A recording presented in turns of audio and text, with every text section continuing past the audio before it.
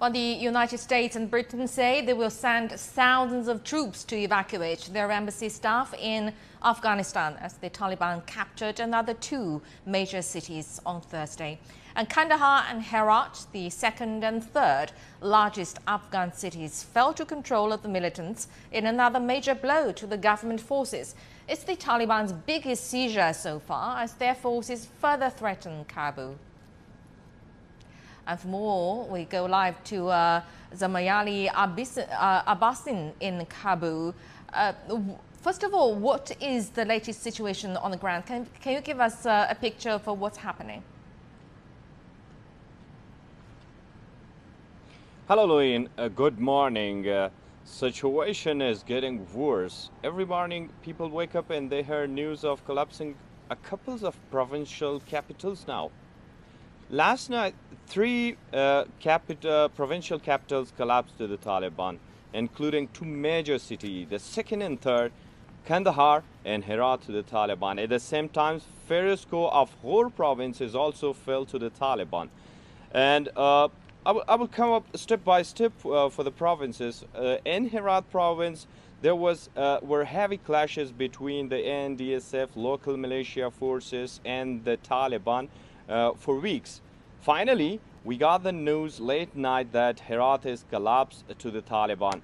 And uh, according to uh, the reports and information from uh, Herat province, Ismail Khan, a prominent uh, uh, jihadi leader and uh, governor and other provincial officials have gone to the 2000, 207th Army Corps and they are besieged out there with more than 200 tanks and military vehicles and weaponry and arm and um, ammunition, which is located very close to the uh, city and now Herat city is totally under control of Taliban.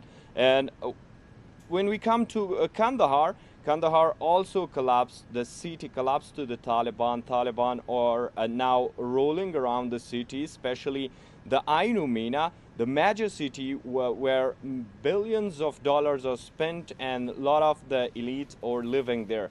According to the locals, they are rolling around and walking and firing as celebrating their victory of Kandahar province is now their capital city uh, of the rise of the Taliban.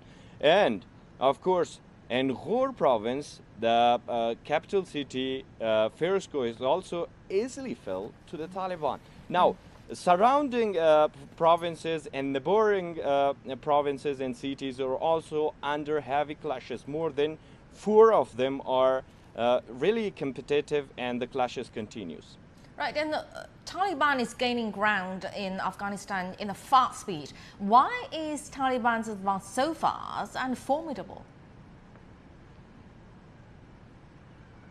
Of course, it's something militarily uh, can be discussed. According to the military uh, experts, they say that the Taliban had a very strategic plan to first collapse the district levels and then surround the capital levels and cities. And that's what we are seeing today. And the critics say that Afghan government had lag about their military uh, strategies and tactics over the grounds and at, uh, uh on the other side many people believe that the NDSF is not willing to fight for the go current government because there are a lot of uh, leadership problems in the government and government uh, as we see is under really tough criticisms uh, nowadays. And many people have already sparked their anger over the government because of the leg that the government have in military leadership.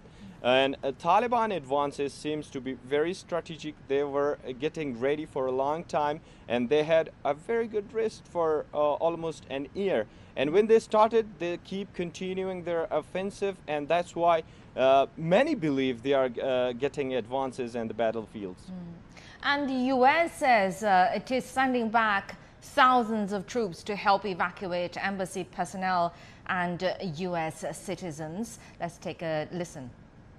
Uh, this is not abandonment. This is not an evacuation. Uh, this is not the wholesale withdrawal.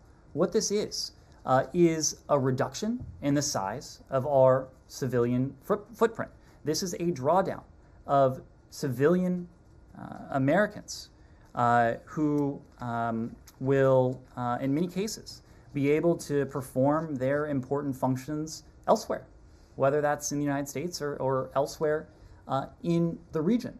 So the message shouldn't be, the implications of this shouldn't be outsized. Uh, I think uh, all parties, the Afghan government, the Taliban, uh, are international partners with whom we have been in touch uh, about this, need to uh, that we intend to continue our diplomatic presence on the ground. Well, the U.S. officials just said that uh, the message sent by this uh, should, should not be uh, to explained should be interpreted too much. So, uh, Zamarini, to what extent actually does Washington's withdrawal of civilians reflect uh, the severity of the situation in Kabul? Uh, when it comes to the residents in Kabul, they are terrified, they're concerned, and they have no idea what's going on, and particularly when the U.S. announces that they are sending 3,000 more troops to Afghanistan to secure their uh, civilian staff at the U.S. embassy. That's of much concerns for uh, the people in Kabul.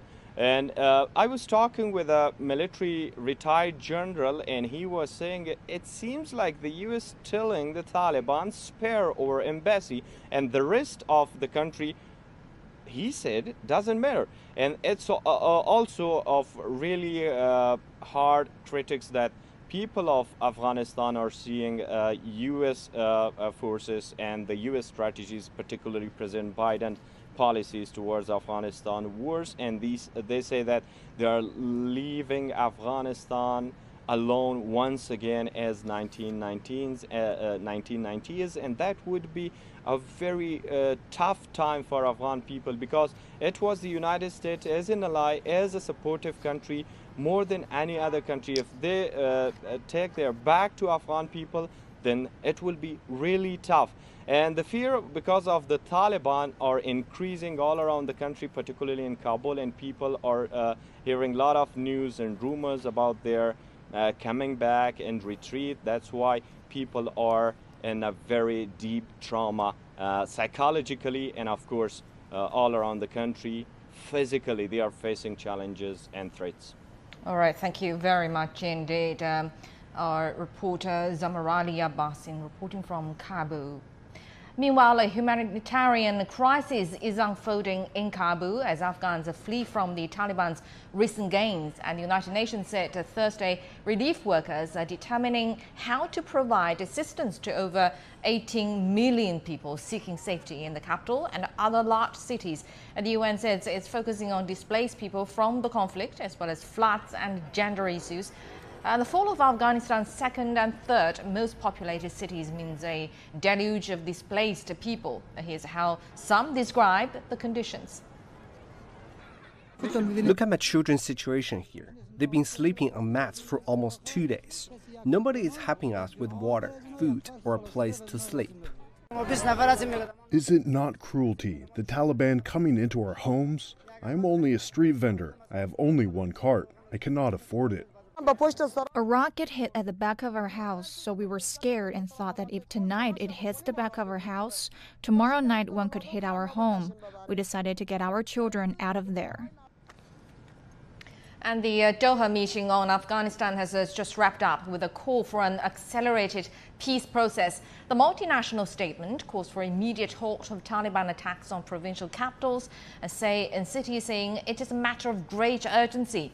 It warns that foreign capitals will not recognize any government in Afghanistan imposed through the use of military force. An envoy is also committed to reconstruction assistance once a viable political peace is reached. And the envoys in Doha are from China, the US, Pakistan, and the United States, and the European Union, and representatives of uh, Afghanistan government and the Taliban.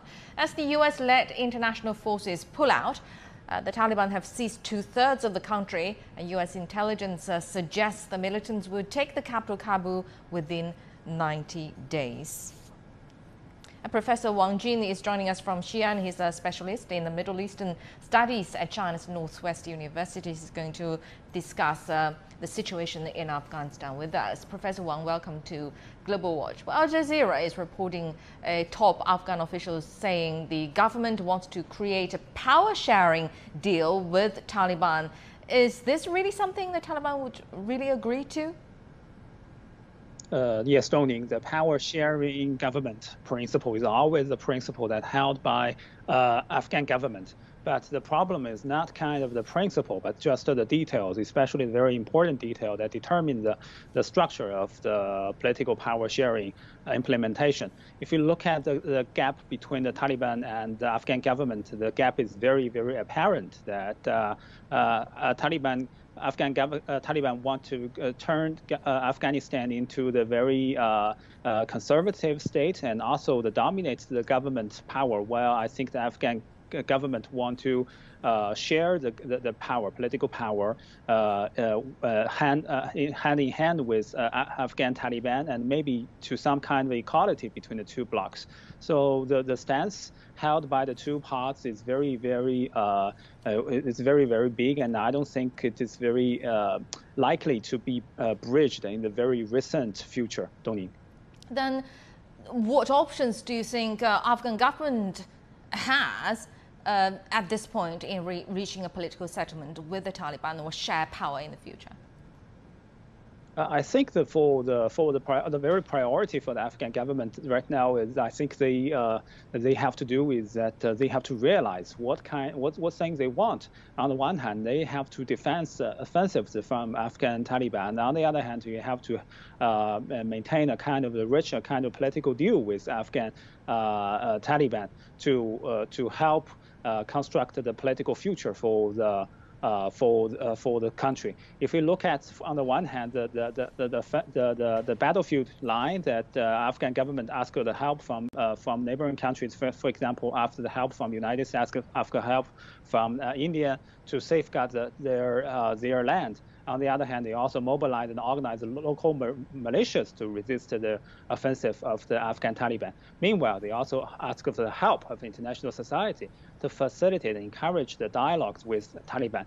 But the option is very limited given the very uh, sensitive battle, battleground reality. So maybe more efforts should be done, not only by uh, by the parties inside Afghanistan, but also by the international society. Dongning. And the Taliban is facing a dilemma here as well, don't they? Uh, because uh, the EU and US uh, uh, say that foreign capitals will not, actually it's a statement uh, from Doha warning that foreign capitals will not recognize any government in Afghanistan uh, imposed through the use of military force. This clearly is referring to Taliban. Is there a, a, an option for political pressure from the international community at this point?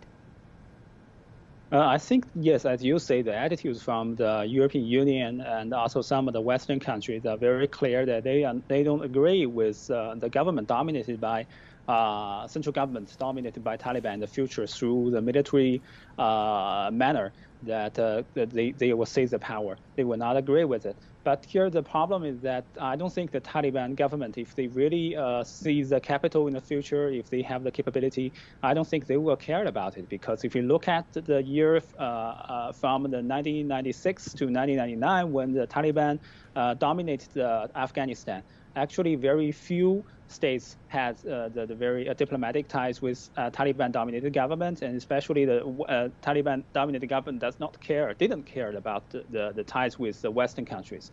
So the pressure from the European Union is very important, but I don't think it will determine the future of Afghanistan uh, because the, the uh, right now, if we look at the situation there, what things really determine is the battleground computation between Afghan government forces and Taliban forces in the future. All right, thank you very much, Professor Wang Jin from China's Northwest University.